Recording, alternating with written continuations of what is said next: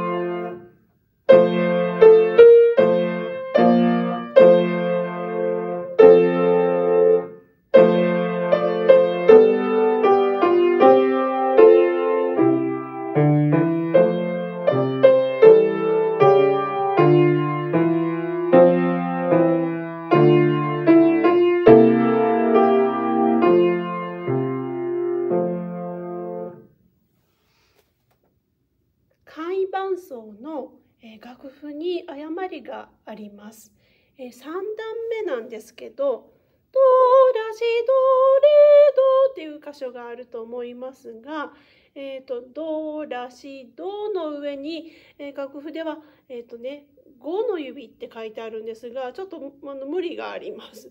えー、ドラシドの、えーと音の指は4にしてください。ここですね。ここです。ここです。これを4に変更してください。えそれからもう1箇所左手一番最後の段なんですけどこの音なんです。えー、この音ね。この音は4ではなくて3の指で弾いてください。えー、あのたまにえこういう出版物でもミスがあります。えこの2箇所はもう明らかに違うと思いますので、え訂正しておいてください。簡易伴奏の右手のパートだけをね弾いてみたいと思います。え前奏の部分が、え一番下の段のところというふうに指示がされているので、え下一番下の段の4小節を弾いてからメロディーに歌のメロディーにね入りたいと思います。1回目はメロディーラインをドレミで歌いながら弾きます。2つ音が重なっているところもあるんですがそういう場合は上の方の音を歌います。1、2、3、4ラソファソラファ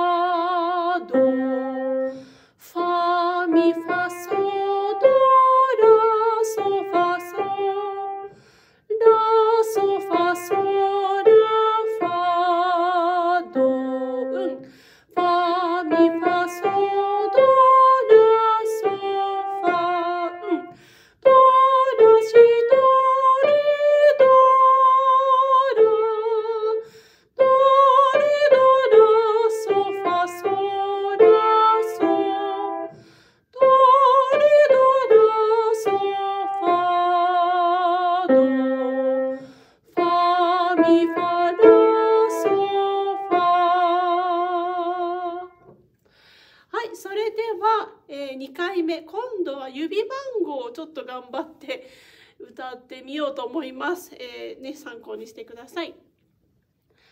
えー、同じく前奏からいきますね。1、2、3、4、4、5、4、2、1、3、1、2、1、2、4、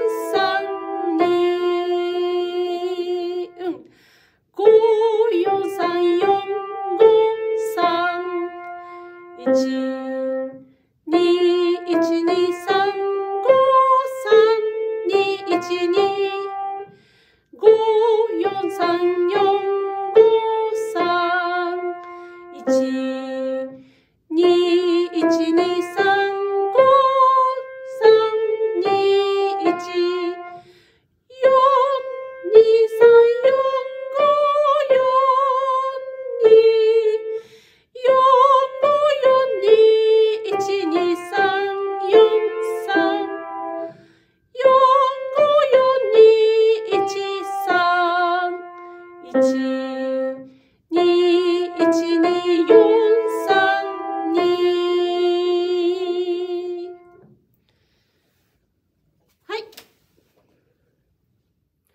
それではえもみじの簡易伴奏の左手のみを弾いてみます。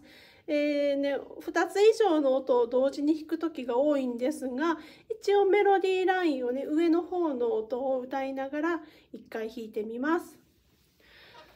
で同じく、えー、前奏から弾きます。1 2 3 4ラドソドレ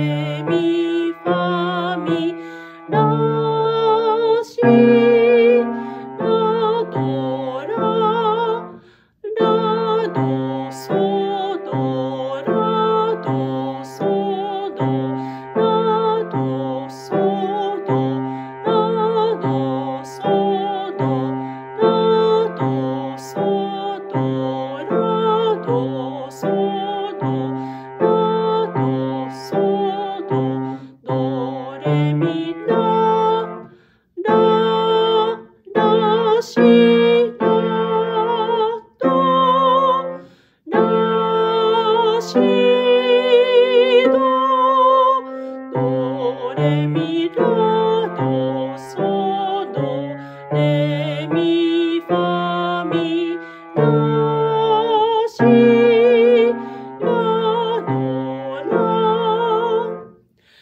え、とあの上のね1段目と2段目はほとんどこの動きなんですよね。でファとラは1と2で弾いてで5で弾いて。今度は1と3で弾いてこうするとちょっとスムーズに動くかなと思います。はい、こんな感じですね。で、え3段目に、えラットが出てくるところがありますねラシっていうところがちょっとあの気をつけてもらいたいところです。で3段目の3小節目では今度はさっきついたフラットがナチュラルで普通の白い鍵盤を弾くようになっています。ここも気をつけてください。で最後の段もシャープが出てきますね。そのあたりもね十分に気をつけてくださいね。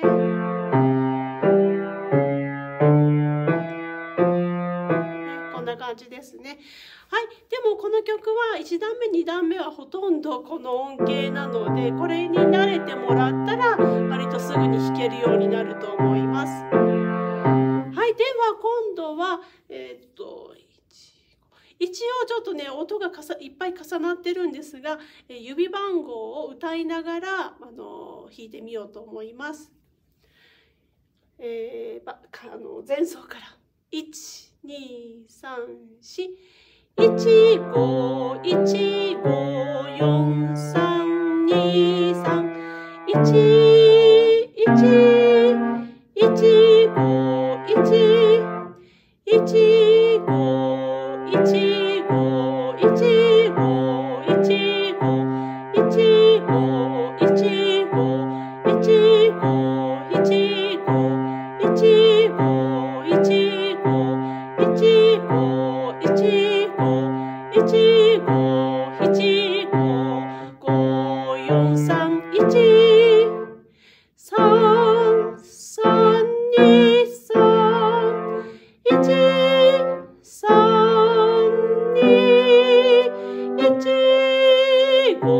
四三一五一五四三二三一一一五一はいでは今度何も歌わずに左手だけね弾いてみたいと思います。